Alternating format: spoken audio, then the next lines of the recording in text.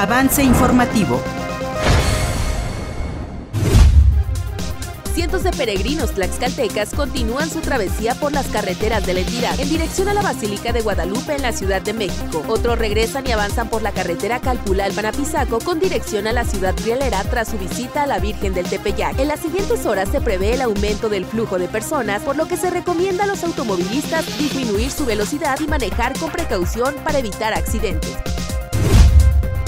En sesión especial, el Consejo General del Instituto Tlaxcalteca de Elecciones declaró la conclusión del proceso electoral local extraordinario en el que se eligieron a los integrantes del Ayuntamiento de Tecopilco y al presidente de la comunidad de Capulac, municipio de Tetla. Lo anterior al no existir medios de impugnación pendientes en el Tribunal Electoral de Tlaxcala y la Sala Regional y Superior del Tribunal Electoral del Poder Judicial de la Federación.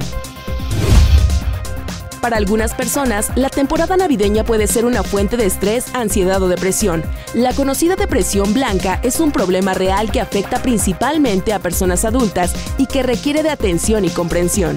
Entonces en estas fechas que son eh, para compartir en familia y si algún integrante de la familia falta, pues el duelo se intensifica o, la tristeza, ¿no? Por ejemplo, situaciones eh, económicas que son tiempos para otra vez compartir, para festejar, para para las cenas y todo esto, los regalos, y cuando hay una situación económica, pues también se vuelve un problema, ¿no?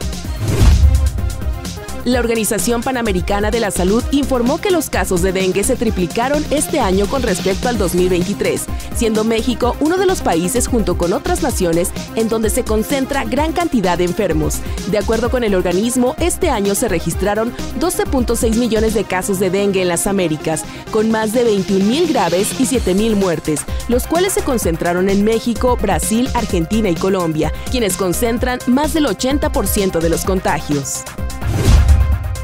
Grupo de adultos mayores venezolanos protestó este martes al cumplirse mil días sin aumento de pensiones y salario mínimo, fijados ambos en 130 bolívares, lo que equivale a 2,66 dólares.